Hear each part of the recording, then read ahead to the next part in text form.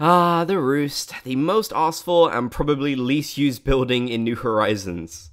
Hey gang and welcome to another Animal Crossing video, I'm Crossing Channel and I love discovering all of the different secrets there are to find in the game. There are so many different ones and especially ones related to the special characters and NPCs that we have in the game and a ton of these were actually introduced in the 2.0 version update that we got in November with lots of characters from past games that we know and love making their return.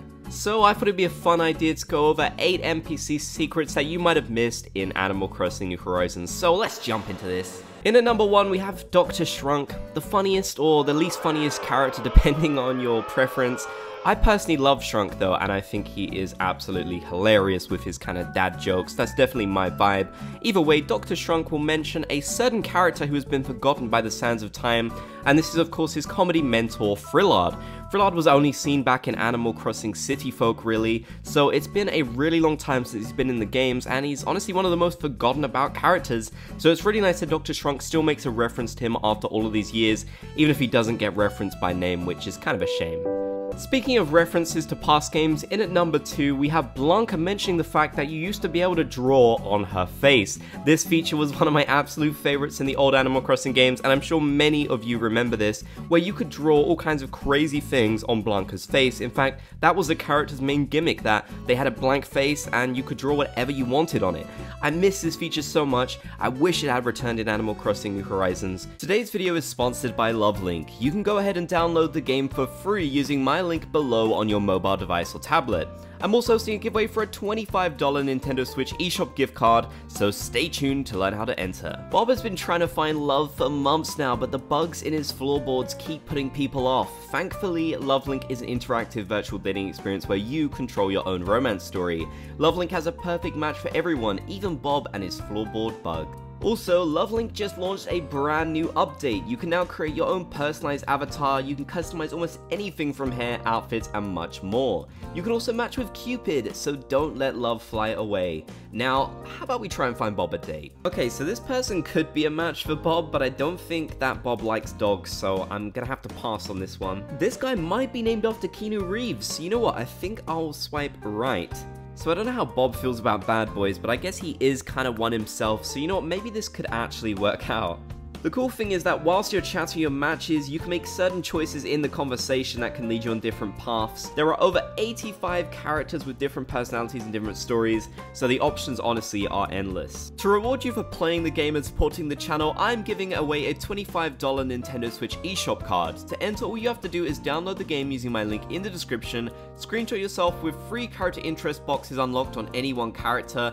As you progress your relationship with a character, the blank boxes will be filled in, so I challenge you to fill in three boxes total for one character and send to me on Instagram at Crossing Channel. The winner will be picked in a month from this video going live. I hope to see lots of you enter and thanks to Lovelink for sponsoring the video. In at number 3, you can invite DJ KK to the Roost as a separate character, and he'll even mention regular KK, kind of confirming that they are the same character, but not directly. Now, DJ KK makes a much bigger role in the game now, obviously, because he takes part in the Happy Home Paradise celebrations right at the end, but you can invite him to the Roost, which in a way does kind of hint that he might be a separate version of the character rather than just a persona. Either way, he's not going to confirm it to us sadly, so we're just going to have to theorize about it ourselves.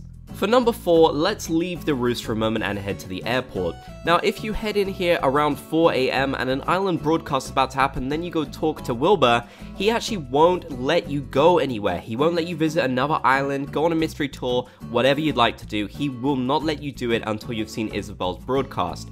Now I don't know if this means he's just some kind of super fan of Isabelle or maybe this is just a clever way of disguising a limitation within the game. But either way, it's neat, and this was actually something that was only introduced in the game recently, so it's cool that there is this sort of change that I feel like a lot of people would never notice. I mean, it is so circumstantial that you would need to be in here at this specific time trying to leave your island. I reckon most people probably don't play the game at 4am even if they do time travel, but if you are at some point, then head in there before it hits 5am and you should be able to get this sort of rare interaction with Orville which I really like. For number 5, we're inviting Tortimer to the roost, and he'll actually show up not wearing his trademark hat. Now, from what I can tell, this is the only place in the game where you can see him not wearing it, and he does look very odd. He kind of looks like a pear, but I don't know if that's exactly what they were going for, or it's just a coincidence. Either way, it's definitely an unusual look for him, but it's kind of nice to see the characters in different ways after we're so used to seeing them look the same throughout basically every Animal Crossing game. He will also mention the fact that he used to be mayor, and he'll even mention your old towns as well, which I really like. He'll specifically make mention to, I guess, Animal Crossing Wild World or City Folk, since he says about a cafe in the museum, which of course was only a thing back in Animal Crossing Wild World and City Folk. The cafe had its own standalone building back in New Leaf, which actually we might hear more about later. For number 6, this one is related to CJ and Flick. Of course, these two are inseparable, you always see them together. If you invite CJ to the roost, or you invite Flick to the roost, they will bring along the other one, which is really cool, so it's a nice way of quickly meeting the both of them. We always hear these two talking about each other, but before the 2.0 update and the Roost, you could actually never see them together at any point in the game, which is kind of crazy to think about. Now with the Roost and being able to invite characters in via amiibo cards, you can see so many different combinations of characters that you'd never ever get to see before, despite the characters being linked throughout the series. It's really interesting to me, and I just love the fact that we can get to see all these characters interact in different ways. In at number 7, this one is related specifically to Timmy and Tommy. Now, for most of the younger characters in the game, if you invite them to the roost, instead of having a coffee, they'll actually have a biscuit or a cookie, I guess, and this is because they're basically too young in order to drink coffee. However, Timmy and Tommy happen to be the exception to this for some reason, and they will bring along coffee, and they can even come and pick it up at the counter anytime they want as well. Now, I guess the reason for this is the fact that Timmy and Tommy are a bit more mature than some of the other characters in the game. For example, they run Nook's Cranny, and they've done a bunch of stuff in the past games as well. Maybe they're even older than they look, and they just haven't grown very much since we've known them in the games. But it is kind of interesting that so many of the other younger characters, including ones like Daisy Mae, who, you know, do work around your island and do tons of independent and hard work, they do not drink coffee. It's only Timmy and Tommy, so maybe that does kind of imply they are a bit older than we first thought. In at number 8, you can invite Isabelle to the roost as well, of course, and she will actually make a direct reference to your town back in Animal Crossing New Leaf. Now, New Leaf is a fan favorite, so many people played it and still love it to this day, and even, you know, still play it to this day, so it's really nice that Isabelle would make a reference to the game where she originated from. And like I mentioned with Tortimer earlier, so many of these different characters which you can invite will make a reference to the past games that they were a part of, something which I really love seeing. I think it's so great great that the past games have kind of been honored in this way throughout the sort of interactions you can have with these characters.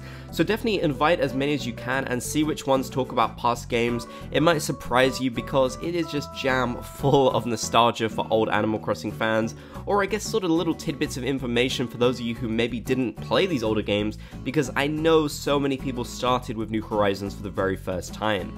There are so many more secrets to discover in Animal Crossing New Horizons, but these are going to be the ones that I go over for today. But definitely drop a comment down below if you've discovered any other secrets that I should know about in the game, especially related to the NPCs.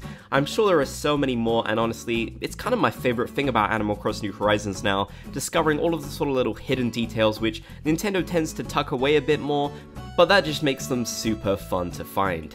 If you made it to the end of the video, be sure to comment Bob's Gang down below so I know that you did. If you enjoyed, be sure to leave a like, and if you haven't already, be sure to subscribe and turn on those channel notifications for more Animal Crossing New Horizons videos. I want to give a big thanks to these channel members for their continued support of me and what I do here on this channel. If you want to become a channel member, click the join button down below the video or the link in the description to learn more. You can get a whole bunch of cool perks like exclusive emojis, a badge by your name, access to our members only Discord and our members only podcast too.